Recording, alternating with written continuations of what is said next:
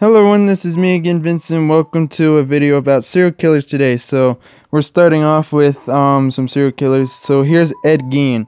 Now, Ed Gein was uh, a guy, a serial killer before like years, I forgot, like years ago, who was actually the um, inspiration for many movie horror characters. Like, um, example, it, Buffalo Bill from Silence of the Lambs, uh, what you call it, Norman Bates from Psycho, and famously Leatherface from the Texas Chainsaw uh, Massacre movies. But it, he really didn't have anything to do with those characters. Now, next is um, Henry Howard Holmes, which is he is America's first um, serial killer and actually first ever serial killer. So this guy um, was a medical dude, student, whatever. So in Chicago, um, the America's uh, what you call it, important event in history, Chicago World's Fair. He built a place called what is now the Murder House. So he murdered people to pay medical bills and stuff. But this guy was caught and everything, and um, was tried for killing uh, a lot of people. Like I can't give you exact numbers on serial killings. But next is another famous one, and one of my favorites is John Wayne Gacy. Now, John Wayne Gacy is one of the famous, one uh, maybe the most famous um, clown serial killers. He had a day job which he played Pogo the Clown, or the Party Clown, um, but he did um, kill, I think, teenage teenage girls. I think, or I'm getting it mixed up probably. But he also had um, he was a manager at a KFC and he left there um, several KFCs. But yeah, like he was one of the many people who struck fear in people and clowns. So yep, he was um, probably the most recognizable um, serial killer or killer clowns um, out there during the 70s and 80s, I think. Next is um, pretty old. It's Jack the Ripper. Now Jack the Ripper um, only killed five people. This dude. And the thing is that um, when newspaper reporters um, reported it, people, the mainstream people thought that um, it was just the publicity to make people buy more of their, um, not magazines, newspapers, just to sell more. But it this was a real thing, and um, nobody knew who this guy was until like years later, I guess.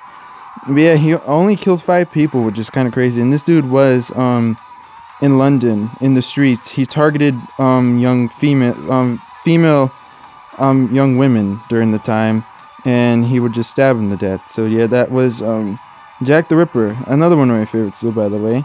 So next is um, probably somebody most of you may know. It is Charles Manson. Now Charles Manson, he personally didn't kill anybody. He killed zero people. But you may be asking, like, how is he a serial killer? Well, he they him and a group of people had a hangout in um, I think a um somewhere I think it was L.A. or um somewhere in California. Um, that the the followers of Charles Manson they killed um a lot of people during that time, but then they were all caught um before and including Charles Manson. He confessed that he was the mastermind behind all this um, all the people killing killing um, other people, and also the place where their um, their headquarters was at is where Marilyn Manson, the artist, um, records his music. But the original hideout, you could still find it somewhere um, around California. I believe it is in California. But Charles Manson, uh, pretty interesting if you've never heard the guy before. Now, finally, is probably my personal favorite serial killer and most interesting in my opinion. It is Ted Bundy. Now, Ted Bundy, just note, he did save a little girl from drowning before, and she did become a serial killer. No, I'm kidding. But, um, uh, he, there is no exact number for this guy. Like, people say it's probably a hundred people this dude killed.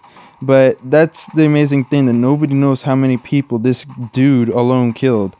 But, um, he was a part of something that followed the urban legend of the evil cop. So, he, a uh, woman was, um, uh, what you call visited by a cop, and the cop told her that there was a serial killer in the loose, and the the cop was Ted Bundy. So yeah, um, that's it for me with the serial killer stuff. So hope you guys enjoyed and learned a little bit about these guys. So Hope you guys enjoyed. Um, rate, comment, share, subscribe, thumbs up, thumbs down. Watch videos. Hope to see you all next time. Um, and also, I just can't with this guy. I don't know whether to kill him or just take notes. now we're gonna try this again.